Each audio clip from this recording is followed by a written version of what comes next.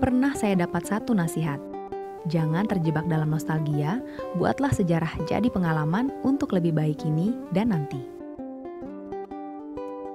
Salah satu objek wisata unggulan jadi buruan wisatawan, domestik dan mancanegara.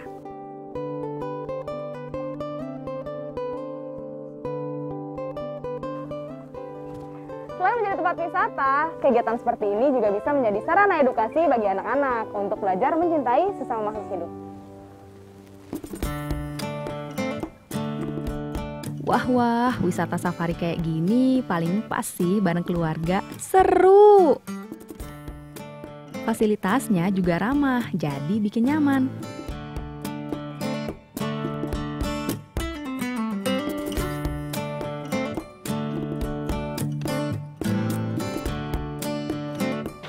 Oke, kita masuk ke hutan. Saya mau coba atraksi kasih makan harimau, si Raja Rimba ini nih. Tapi tenang-tenang, aman kok.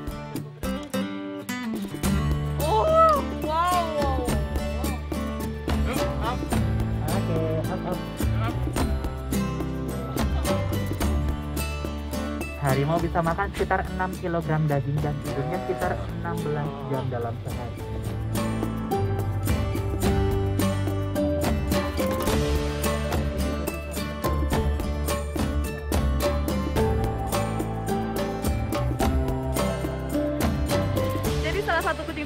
Selain singa, harimau benggala ini beratnya bisa mencapai 200 kg loh. Tapi uniknya mereka jago berenang, kayak Serafli ini nih.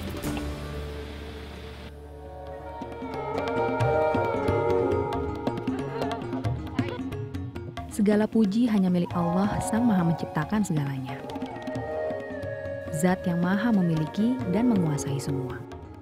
Sedangkan kita sebagai manusia sudah sewajarnya ikut menjaga bumi beserta isinya. Seiring solawat dan doa yang terus terlimpah.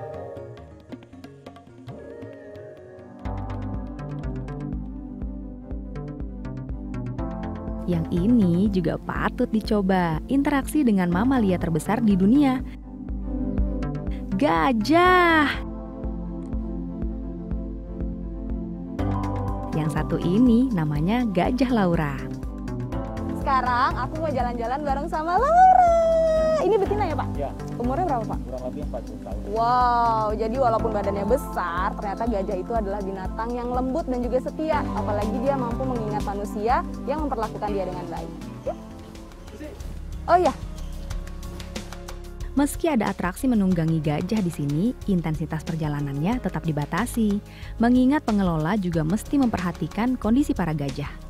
Sungguh bisa menikmati interaksi langsung dengan ciptaan Allah ini buat saya tak henti mengucap syukur.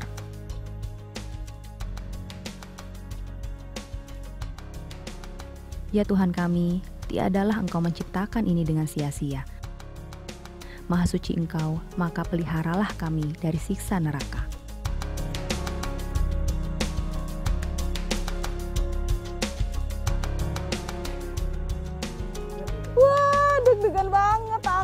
Tapi seru juga karena gajah ini termasuk mamalia yang pintar, jadi dia nurut kalau kita kasih instruksi. Dalam Islam pun ada cerita tentang hikayat mamalia besar satu ini. Kisah pasukan Abraha yang menggunakan gajah untuk menyerang Ka'bah. Kala itu, gajah dikenal sebagai salah satu satwa yang paling pintar karena mudah memahami apa yang diperintahkan tuannya.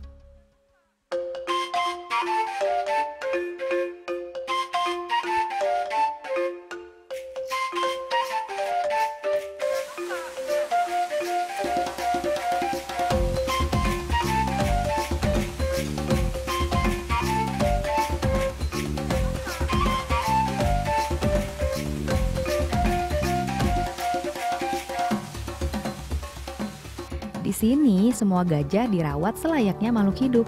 Semuanya dibebaskan tanpa adanya kekangan. Makanya, mereka akrab banget nih sama manusia, termasuk saya.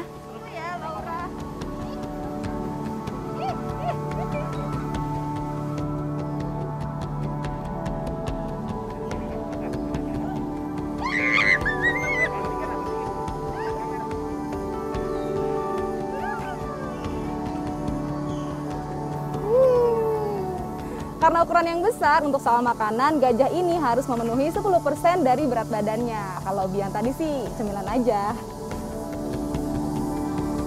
Uh.